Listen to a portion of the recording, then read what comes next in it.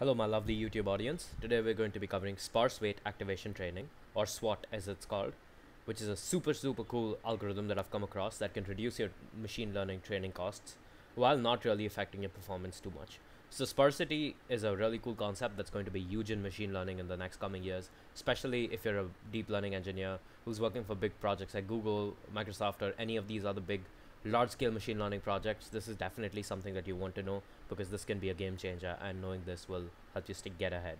As always, the slides used in this video, along with any other social media li links you can use to reach out to me, my YouTube channel, my other work, etc., will be in the description below. Make sure you check them out. So first off, what is this video going to cover? We're going to cover why sparse activation as a concept is such a big deal and why it's gained so much momentum recently. If you looked into Google's PaLM model, which was a big game changer, or Google's Minerva. These have all used sparse activation as a very, very strongly. Second, we're going to understand the SWAT algorithm specifically and why that is such an improvement on the other sparsity-based metrics. Finally, we'll finish up by actually going over the algorithms. The first part, I'm going to give you the intuition to why the algorithm works, why it makes sense, and now then we'll go over a little bit of the algorithm, plus some cool details like that I really liked and I think are the real game changers in this. The timestamps will be in the description below so you can jump around. And in case you need to be convinced more about why this is such a cool concept, take a look at the chart to the right. So here, if you can see, I'm pointing to this uh, green star. This green star is the performance of SWAT okay, when compared to a whole bunch of other sparsity metrics. So these are all dropping neural networks, uh, the parameters of a neural network to a certain degree, and these are all different protocols for doing the same.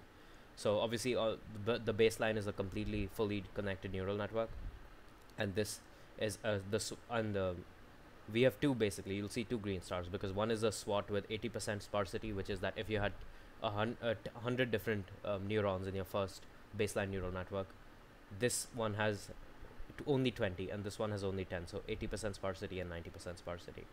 And you can see clearly that this is basically pl uh, plotting the reduction in training costs which is reduction in training flop to the accuracy loss. Obviously since we're removing neurons, we're going to see a bit, little bit of a drop in accuracy.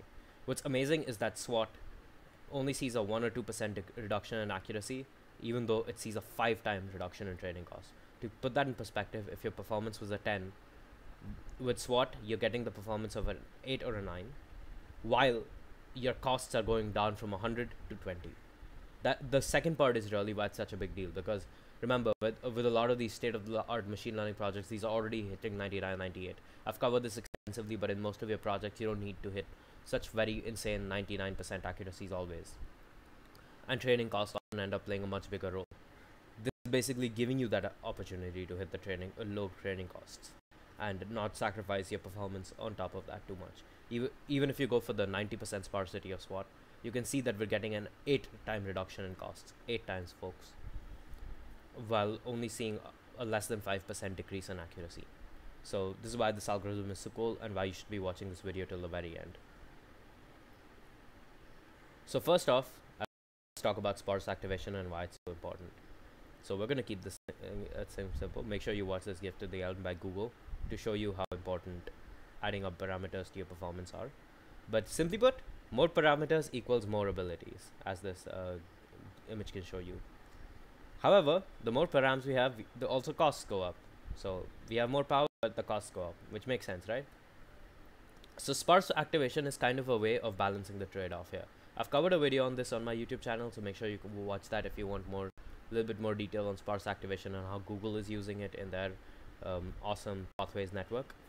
But really, simply put, what sparse activation does is it says, okay, I'm going to take a when I get a model input, instead of activating the whole neural network for it, I'm only going to activate a certain chunk of my neural network for it. And then really the challenge becomes how do you attribute the correct task, the correct part of the neural network. But once that is figured out, what you've done is you can basically code different parts. Your neural network can handle different kinds of tasks in different areas. So you have the benefits of the learning benefits of having a very giant neural network, but you also have the running costs of a much slower neural network because at any one given stage you're only running one a small chunk of our neural network. And when you think about it that's how this brain our own brains work. Our brains are designed in a very similar way we, where we have literally trillions of parameters trillions of neurons connections etc and what is our mind doing? At any given stage you're only activating a very small section for it. When you're listening to me the audio is being the audio is being processed by one part of your brain. My beautiful face is being po- processed by another part of your brain. The feeling of wind around you etc is going to be processed by another part of your brain and so on and so forth. So what this does is it allows you to multitask. It allows you to learn multiple different activities. And you're not always tired. Imagine how tiring it would be if you had to use all your mental efforts to uh, listen to everything. That's kind of, sparse activation is allowing you to skip all that. So very cool concept. So now specifically let's get to SWAT and why this is such an improvement on traditional sparse activation. So first, what is SWAT? So SWAT basically means it's what we're doing is we're sparsifying the weights of a neural network. So the, this layer, uh, this connection as the as a weightage of this, and we're sparsifying the activation function. We're, we're going to take this input, apply this activation function. If you don't know these concepts, make sure you get familiar with them. I have videos on them. I have articles on them. Make sure you're following me to stay updated on these because these are crucial machine learning ideas that you must know about. Okay, so what is the base assumption behind uh, SWAT and the algorithm? So the uh, algorithm makes this very fun uh, fundamental assumption that the biggest magnitudes of weights and activations are the most important. And this kind of makes sense because the one that has the biggest weight, the neuron that has the biggest weight, will be the one that influences your learning and training behavior the most. Now, if we assume that this assumption is true, and this is a very reasonable assumption to make, obviously, what you can do is you can apply the Pareto principle. Some of you might know this as the 80 20 rule. So, what we're going to do is we're going to say that, okay, we're only going to consider, like, say, the top 10 act- most important neurons, and only the most top 10 most active important activation functions. These are the ones with the biggest magnitudes. And everything else, we're just going to ignore. We're going to say we don't care about this. We'll kill it, ignore it. How are we ignoring it? Normal in traditional neural networks sparsifying, you you prune the connections, you prune the layers. You say that these things, these neurons are no longer connected. This one is very interesting because instead of pruning, what you do is you set the value to zero. This is a very important point to note. It's going to come up later. Make sure you take a note because you're going to see why this is such a brilliant take. So far, it's basically like a standard uh, activation, uh, sparsifying activation function but we're going the the setting to zero is such a game changer and you'll see it why soon so take a deep breath make sure you're very hyped because this is an amazing thing in tech. And speaking of amazing th- things in tech bet i got you there didn't i? Do you know i have a newsletter. What technology made simple is one of the best newsletters when you're looking to develop your computer science ace your coding interviews or level up your careers in many ways. You can see the reviews below. Everybody uh, these people have gotten jobs at very high, well-established companies. They've been able to get much bigger salary raises. They've understood concepts in tech and finance like blitzscaling, why tech and cryptocurrencies crash so much, why is um, uh, recently I covered how India had the tw- 200 billion dollar industry built from completely from scratch. All of these very important and very interesting stories that you must know about, and that's got great reviews. And if you want to see for yourself, you can use the link below to get two months com- uh, free at complete no risk to you. So it's free to sign up. The premium subscription is only like 10 bucks a month, $10 a month or 800 rupees a month, which which translates into less than $1 a day. It's uh, it's like not even half a dollar a day. And for that you get such amazing benefits. And if you want to check it out, 2 months completely free. And if you don't like it, you can just cancel your subscription. If you do like it, you know, you can keep subscribing. But it's an amazing tech. If you're here, you'll definitely appreciate it. The link will be in the description below. Getting back to our topic.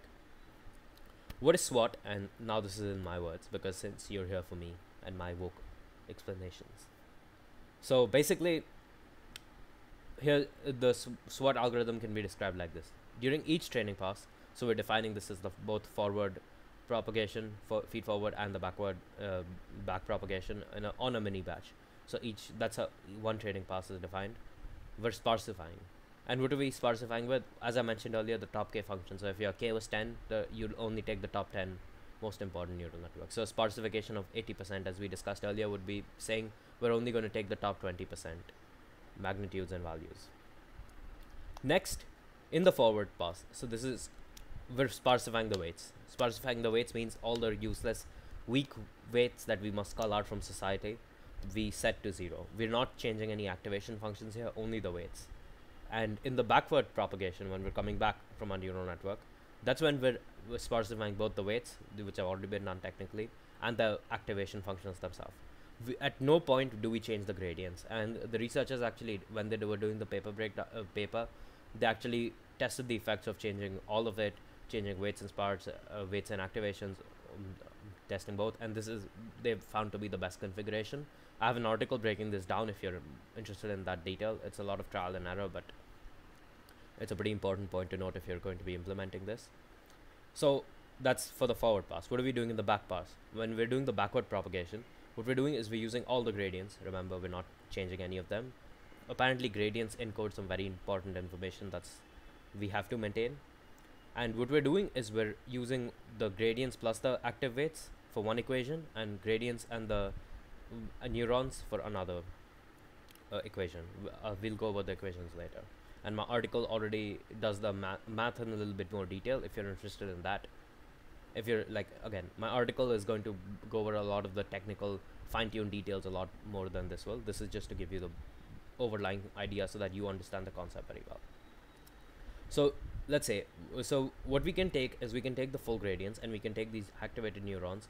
And with this we can kind of generate dense weight gradients that will update both the active and the non-active weights so remember how we how I pointed out to you that we're not actually killing any neurons, we're not actually removing any, we're not removing any connections, we're just setting the value weights to zero.